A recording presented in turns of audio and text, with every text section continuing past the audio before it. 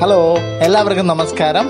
ഇന്ന് നമ്മൾ സംസാരിക്കാൻ പോകുന്നത് എം ബി ബി എസിന് നൽകേണ്ടതായിട്ടുള്ള ഫീസും അതിനുശേഷം ലഭിക്കുന്ന ശമ്പളത്തെ പറ്റിയാണ്. ഒരു എം ബി ബി എസ് വിദ്യാർത്ഥിക്ക് കർണാടക കോളേജിൽ ലഭിക്കുന്ന ആവശ്യമായിട്ടുള്ള ഫീസ് എത്രയാണെന്ന് നിങ്ങൾക്കറിയാമോ? എൻ ആർ ഐ കാറ്റഗറി ആണെങ്കിൽ ഏകദേശം ഒരു കോടി മുപ്പത് ലക്ഷം രൂപയാണ് നിങ്ങൾ ഫീസായി അടയ്ക്കേണ്ടത്. ഇത് ഗവൺമെന്റ് അംഗീകൃതമായിട്ടുള്ള ഫീസാണ് എൻ ആർ ഐ കോട്ടയിൽ. അങ്ങനെ നാലര വർഷം ഫീസ് അടയ്ക്കേണ്ടതായിട്ടുണ്ട് അപ്പോൾ നിങ്ങൾ തന്നെ കാൽക്കുലേറ്റ് ചെയ്ത് നോക്കൂ എത്ര കോടി രൂപയാണ് വരുന്നതെന്ന്. ഒരു വർഷം ഒരു കോടി മുപ്പത് ലക്ഷം രൂപ.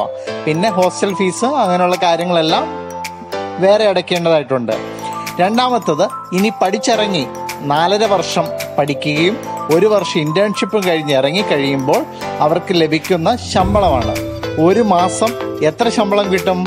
വെറും മുപ്പത്തയ്യായിരം മുതൽ നാൽപ്പത്തയ്യായിരം വരെ. മനസ്സിലാകുന്നുണ്ടല്ലോ? വെറും മുപ്പത്തയ്യായിരം മുതൽ നാൽപ്പത്തയ്യായിരം വരെ. ഇനി മക്കളെ എം ബി ബി എസിന് ചേർക്കുമ്പോൾ വ്യക്തമായും ചിന്തിച്ചിട്ട് വേണം. ഒരു വട്ടമല്ല പത്ത് വട്ടം ചിന്തിച്ചിട്ട് മാത്രം ചേർക്കുക. താങ്ക്